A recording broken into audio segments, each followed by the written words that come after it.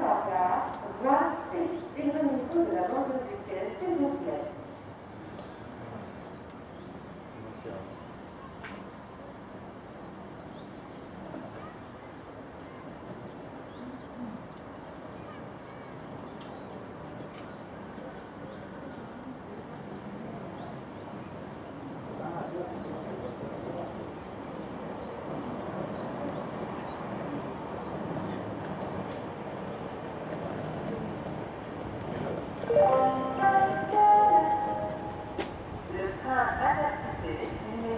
347